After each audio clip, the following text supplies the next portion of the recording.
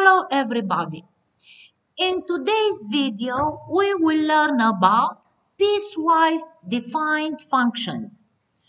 A piecewise defined function it's a function defined by at least two equations, pieces, each of which applies to a different domain. Piecewise function defined function can take on a variety of forms. These pieces, these parts of the function, they can be linear, all of them, or part of them linear, others they can be absolute value or square root or quadratic because these parts, because the function has more than uh, one part, that's why this is the reason for which this kind of function does not have a parent form. In today's video, we will learn how to graph a piecewise function from a given rule and how to write the rule of the function from a given graph. And let's start working. So, in this example, they say graph the function. The function given f of x, as you can see, it has three different rules. Each rule for different domains. So this function, it is called a piecewise function. To graph it, we have to take the rules one by one separate and we know that to graph a function, in fact, we need points. And the points, we are going to take them from the domain, which is called from this domain intervals. So I'm going to take the rules one by one in order. The easiest way to graph, again, is to find points. And for points, we will use table. This is the easiest that we can do. So my function f of x and I will take the rules one by one in order. I take the first one. 1.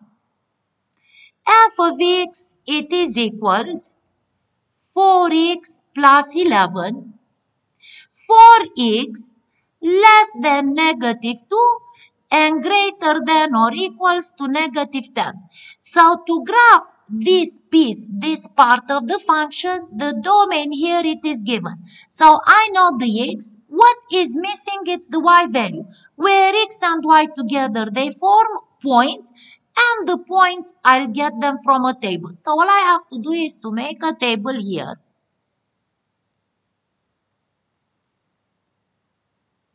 And the x value, it's negative 10. So under x, I put the negative 10. And also x, it can be equals negative 2. Now I will take the x and substitute into the y. If the x, it is negative 10, then the y, it will be equals 4. Substitute in x with negative 10 plus 11. So negative 40 plus 11 it is equals negative 29. So the point has coordinates negative 10, negative 29. In x, negative 10, we have here equals. So then this point, it will be closed on the graph. I go to x equals negative 2 and to find the y, I will do the same I did before. So it will be y equals, substitute in the given rule, 4 times 2 plus 11. 8 plus 11, it is 19. So the point it will be negative 2 and 19. In negative 2, we do not have equals, so this point, it will be opened. And to graph, we'll plot these two points on the coordinate plane, and after we are going to connect them. I will save these two points that I don't have to come back?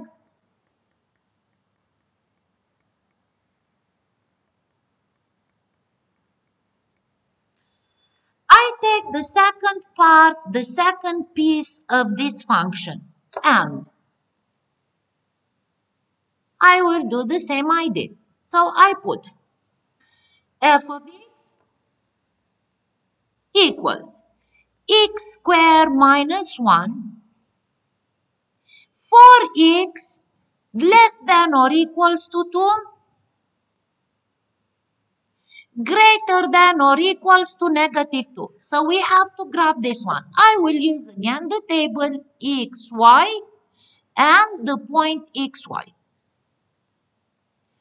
The x values, I'm going to take them from the given domain interval. So x, it can be a negative 2 or x, it can be a 2. To find the y, I will substitute in the rule. So it will be y equals, instead of x, I put negative 2 square minus 1. And for minus 1, it will be a 3. And the point, it will be negative 2, 3. In negative 2, x it is equals, which means this point on the graph, it will be closed. I take the other x and find the y. So substitute into here 2 square minus 1. And for minus 1, it will be 3 again. So the point 2, 3. In x from the domain, this is equals to 2. So also this point, it will be closed. But the function, it's a quadratic function. So only two points, they are not going to be enough.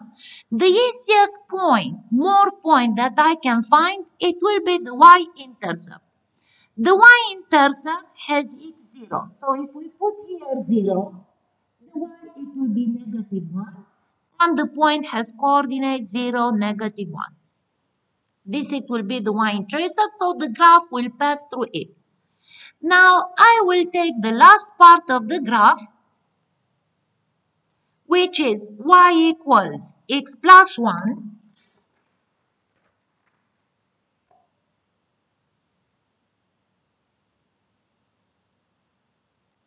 So say f of x equals x plus 1, this is the last piece in the function, such that x less than or equals to 10 greater than 2. And I will make the table again. And I'll do the same I did before. The x value or is 2 or I take the 10. These are the limits in the domain. So, or it's x2 or it is x10. If x is 2, y equals, I will substitute in the rule 2 plus 1, which means 3, and the point it will be 2, 3. x, it is not equals to 2, so this point it will be opened. If x it is 10, y it will be equals 10 plus 1 which means 11. So the point on the graph is 10, 11. x it is equals to 10 so this point it will be closed and I will connect these two points. And now the three tables I will plot them on the coordinate plane. The points I found on the coordinate plane. So this is the coordinate plane. I will sketch it. It's not a perfect draw. I will sketch it. From the first table, we found the points negative 10, negative 29 and negative 219. The function, it's linear function, so I will connect the points and get a segment there. So let's see.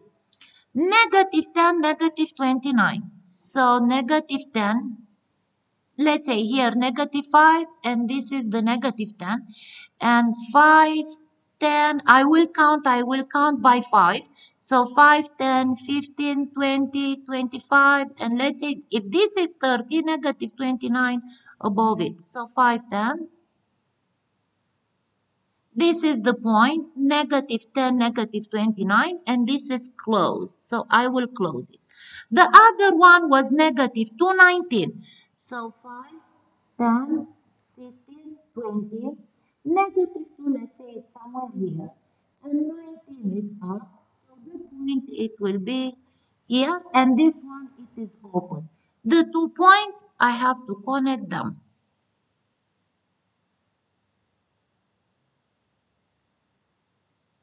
This is the first part of the graph. I will take the second part of the graph, which was f of x equals to x squared minus 1. I found the points negative 2, 3, 2, 3 and 0, negative 1. This function, it's a quadratic function, the a coefficient positive, so there it will be the shape parabola. So let's try to sketch this on the same coordinate plane. The first point coordinates negative 2, 3. So let's say 3, it's somewhere here. And negative 2, 3, it was closed. So I will close the point. The other point was 2, 3. So they are symmetrical with respect to y-axis. And the third one was the y-intercept negative 1. So then I will connect them. And this is the parabola. The last part the last rule was f of x equals to x plus 1, which is a linear function. And the points I'm going to plot are 2, 3 and 10, 11. And this is open, this is closed, and connect them. Let's see. 2, 3, it's the same point here. And 10, 11, so this is 5, 10. And 11, 5, 10, let's say, is here. And this point, it will be closed, and I will connect them. So this is the shape of the piecewise function. The domain of this function, we said that to find the domain of the function, whatever graph is there, look for the most lefted point in the graph and the most righted point in the graph. From each point, look for the x coordinate. The domain, it will be between these x's. The most lefted point, I have it here. And the x it was negative 10 and the most righted point it was here and the x was 11 so the domain it will be between two these values so i can write domain x between negative 10 left and 11 right. So 11, the point here with its coordinate 11, it is close, so less than or equals 11. The negative 10 coordinate, the point here, it is close, so greater than or equals to negative 10. This is going to be the domain of the function. Range, we said, look for the lowest point and the highest point in the graph and their y coordinate. The range, it will be between these two y coordinates. So this is the lowest point in the graph and the y coordinate is here which is negative 29. The highest point in the graph is here and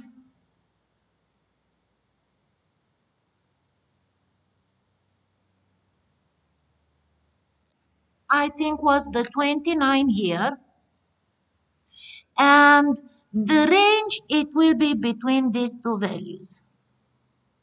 So we can write range it's for the y values. The least value negative 29 and the highest it's 29.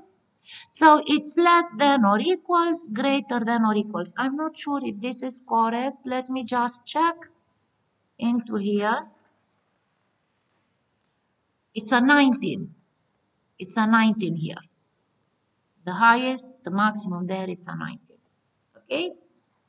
When you do it on the paper, it will be better for you, easier, more clearly. Again, graph the piecewise defined function. So my function is called and this function has one, two, three different rules. To graph it, I will take the pieces one by one in, order, uh, in order and look for points on that part that we can plot the points, connect the points and get the shape of that function. So I take the first rule. f of x equals to 3 for x less than or equals negative 1 and greater than negative 4. This is a constant function. Yeah. So this means that whatever it's the x value, always y it will be 3. So we can make the table and if x is negative 4 then y it will be 3 and the point is negative 4 3 and here it is not equal so this point is open. If the x is negative 1 the y it will be 3 the point is negative 1 3 it is equals to negative 1, so this point is closed. We will plot later on the points on the graph and after we'll connect them. So this is a constant function. From it,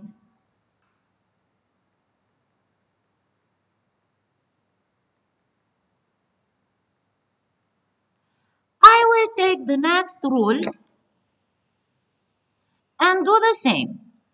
So it is f of x equals negative x. This is a linear function for x between 0 to including them. So x less than or equals to 2, greater than or equals to 0. We'll make the table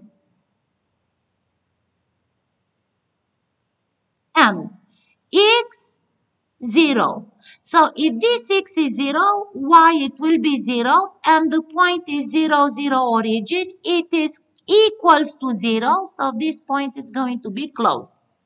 The next value for x, I'll give it is now, if I put 2 for x, it will be here y equals negative 2 and the point 2 negative 2 coordinates. Again, this is equals to 2. So, this point, it will be equals. This is a linear function. I plot the points and connect them on the graph.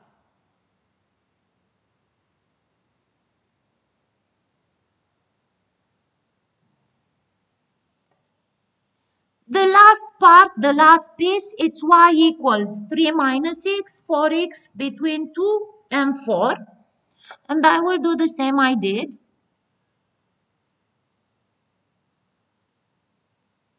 So 3 minus 6. f of x equals 3 minus 6 when x it is less than 4 and it is greater than 2. We make the table. It's a linear function, so all we need two points to graph it. The x once is 2. So if this x, it will be 2. 3 minus 2, it is 1. And the point is 2, 1. It is not equals to, so the point, it will be open. The other value for x, I will put it 4 and it will be 3 minus 4 it's a negative 1 so the point has coordinates 4 negative 1 it is not equals to 4 so it will be open. As we said it's a linear function. We plot the two points and we connect them. Then let's see what we are going to find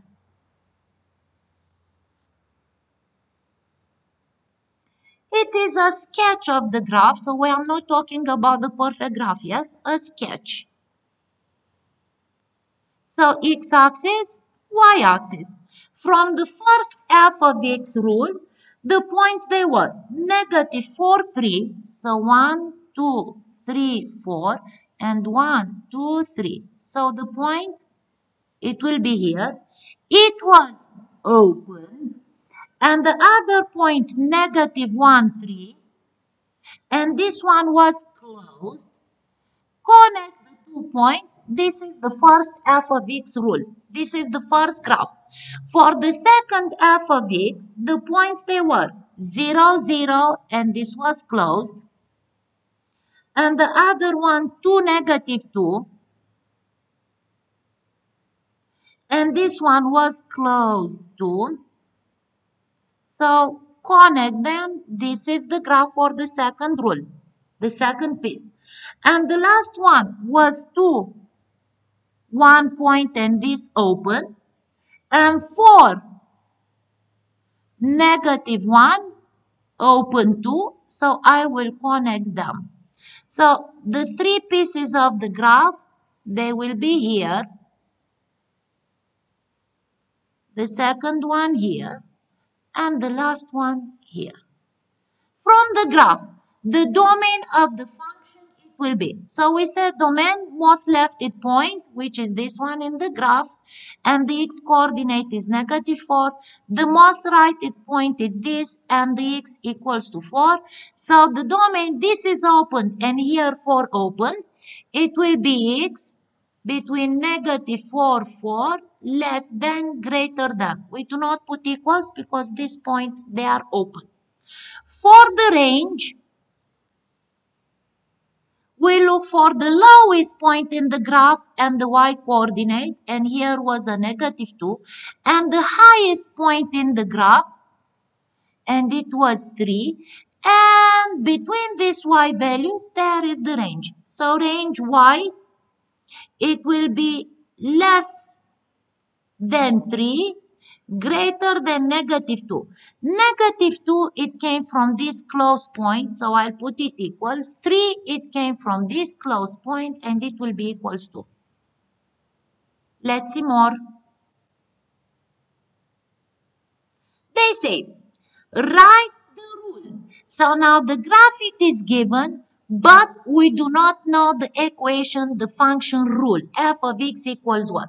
And when we check this graph, we see that the graph is split into three parts. Here we have a part, here we have a part, and this is the third one. So we'll take the parts from left to right into the order one by one, and we will try to find the equation of these parts of the graph. These are segments, and we know that segment is part of the line, so equation of the line it is y equals mx plus b, where m is the slope, and the y it's the uh, and the b it's the y-intercept. So I'm going to take the first part of the graph. This point has coordinates negative 5, 7, and this one has coordinates negative 2, 7. It is horizontal line which means it's constant and the equation it will be y equals to 7 for x, here left closed and right closed, so x it will be less than negative 2 and greater than negative 5 and both of them closed. So I got the first rule. I will take now the second part of the graph, the second segment, and I will sketch it separate. So I see the second segment it comes like this. I will take the coordinates of the points from the graph. So here I have negative 2, 7. So this is negative 2, 7. And here I have 3, 2. And I'm going to use these points to write the equation y equals mx plus b. First of all, I will find the slope using the slope formula. y2 minus y1 equals to x2 minus x1 and this equals 7 minus 2, 5. Negative 2 minus 3 it's a negative 5 so the slope is negative 1. Now to find the y-intercept I will substitute in the slope and I will choose one of these two points that I can substitute for x and y. I'll take this one.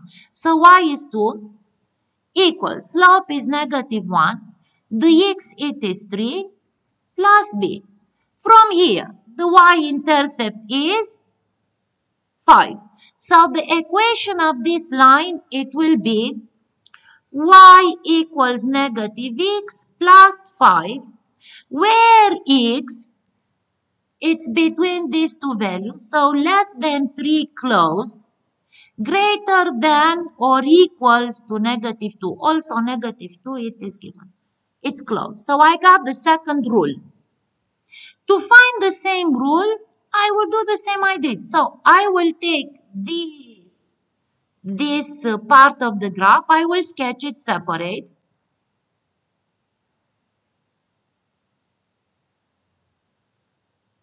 So it was something like this. And I will take the coordinates for the points from the graph. So here down I have a 4, 5. So this is 4, 5. And the point it's open. And the other one it's a 6, 9. And this is closed and the graph is between them. So this is sigma, part of the line. So I look for y equals mx plus b. To write this, we need to find the slope and we need to find the y-intercept. So then I write slope equals 9 minus 5, it's a 4. 6 minus 4, it is 2. So slope equals to 2. I will substitute in the equation. I take one of the points to substitute xy. Me, I'm going to take this one. It doesn't matter which one we'll get at the end the same.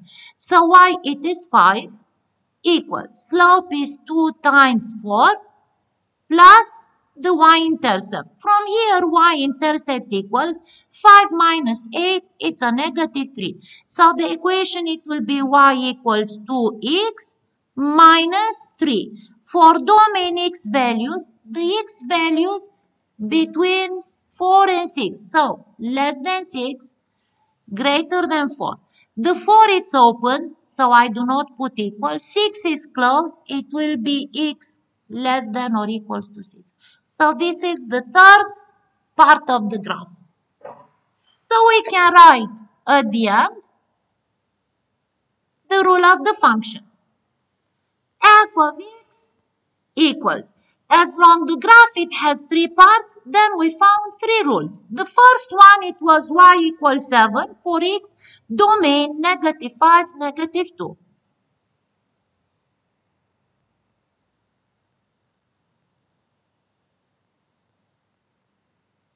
The second was negative x plus 5.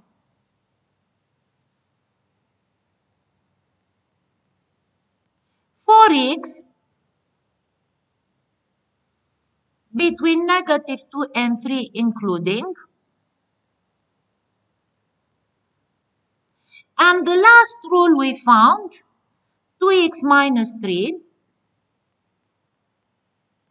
4x between 4, 6, but only included 6, not the 4.